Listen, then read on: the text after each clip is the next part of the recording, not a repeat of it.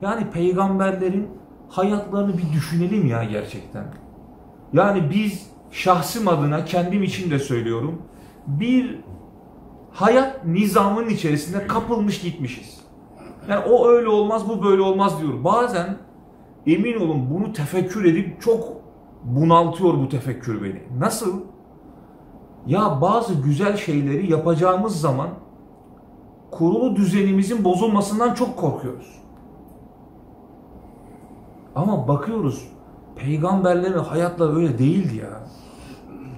Doğruyu yaparken, hakkı işlerken yıkılan düzen yıkılsın arkadaş dediler yani. Demek ki doğru bir düzen değilmiş o.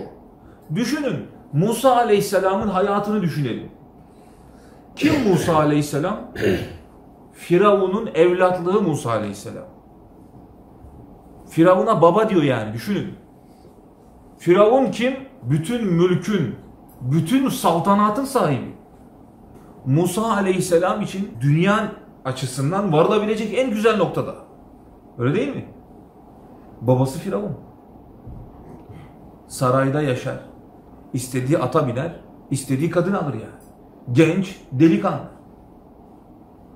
Böyle olmakla birlikte ne yapıyor? Mazlum sandığı birisine Firavun'un adamlarından zalimane birisinin saldırdığını duyunca ne Firavun'u gözü görüyor ne başka bir şeyi. Zalim adama bir yumruk atıyor, adam ölüyor. Fakat aleyh.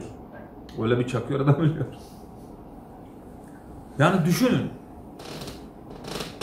Şu hayatta biz nasıl bir nizamın içerisinde kapıldık gittik düşünün ya. Firavun'un askerini öldürüyor Musa Aleyhisselam bir yumrukta.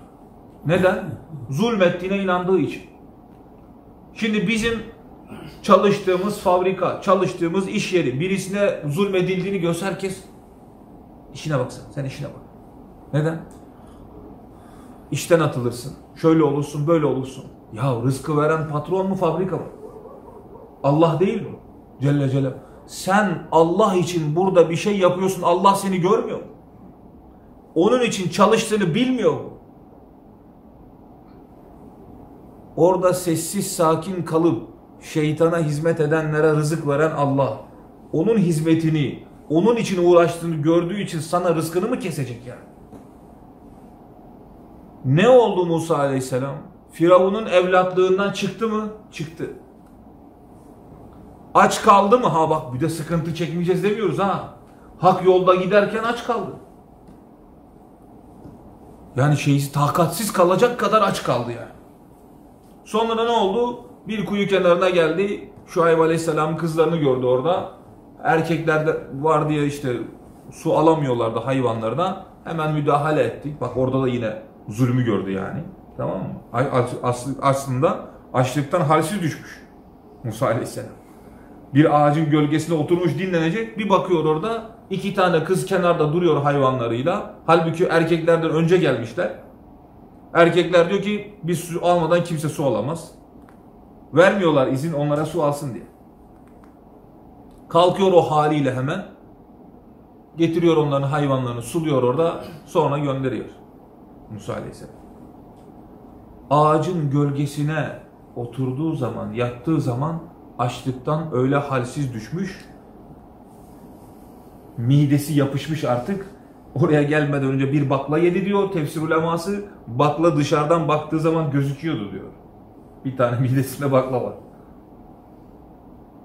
İşte o zaman o kutlu duayı yaptı Musa aleyhisselam.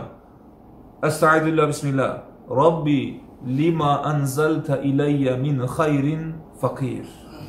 Ey Rabbim senin bana göndereceğin ikrama ben muhtacım. Herhangi bir ikrama ya. Aç karnı demek istiyor. Ama ne edebi bir dua, ne harika bir dua. Şimdi şuraya kadar, şuraya kadar gözümüzün önüne geldi mi bu e, kıssa? İnsanlar buraya kadar olanı gördü mü böyle diyecekler hemen. Heh, gidip öldürürsen orada öyle aç kalırsın işte. Aynen bugün insanların verdiği tepki böyle. Sen gittin fabrikada dilini tutamadın, atarlar seni işte. İşten atarlar seni. Böyle kalırsın işte. Sürün. bir de böyle. İşten atılmaktan daha zor gelir o insanların sözleri. Sonra ne oldu sonra? Şuayb Aleyhisselam davet ettiği bir peygamber olmadı. Daha henüz peygamberlik verilmedi Musa Aleyhisselam. Bir peygamberin yanında 10 sene hizmet etti. Şuayb Aleyhisselam peygamber. Ve o 10 senenin neticesinde ne oldu? Yani Şuayb Aleyhisselam hizmet etti ne demek? Bir peygamberden ahlak terbiye aldı demek yani 10 sene. Allah Firavun'un eline bırakmadı onu. Bir peygamberin yanına gönderdi Musa Aleyhisselam'ı. Ve 10 senenin sonunda peygamber seçildi, geldi, Firavun'la karşılaştı, neticesinde Firavun'u mahvetti.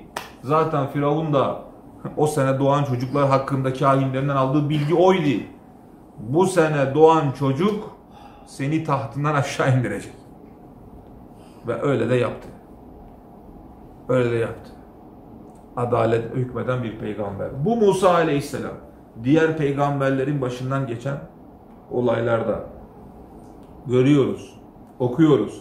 Neticede kurduğumuz basit bir düzen var dünyada. O düzen yıkılmasın diye çoğu güzel ahlakları maalesef es geçiyoruz. Allah'ın emirlerini es geçiyoruz, bir hayır yaptığımızı zannediyoruz. Halbuki, halbuki onları es geçmeyip Allah'ın emrini tutsak ne güzel kapılar bize açacak Mevla. Musa Aleyhisselam'ı açtığı gibi, peygamberimizi açtığı gibi yani. Ne harika kapılar açacak. Netice peygamberimizin ahlakı neydi? Emin, lakabı emin olan peygamber. O zaman ümmeti Muhammed bu güzel ahlaklar içerisinde en çok dikkat etmesi, önem göstermesi gereken emniyettir, güvenilir olmaktır manasında bir derstir bu. En çok kaçacağı şey ise sahtekarlıktır. Yalan söylemektir, aldatmaktır. Bundan kaçacak. Tabi bu ne insana bunları yaptırıyor? Dünya sevgisi yaptırıyor tabii. Dünyaya olan aşırı müptelalığı yaptırıyor. Ondan kendimizi kurtarmak lazım.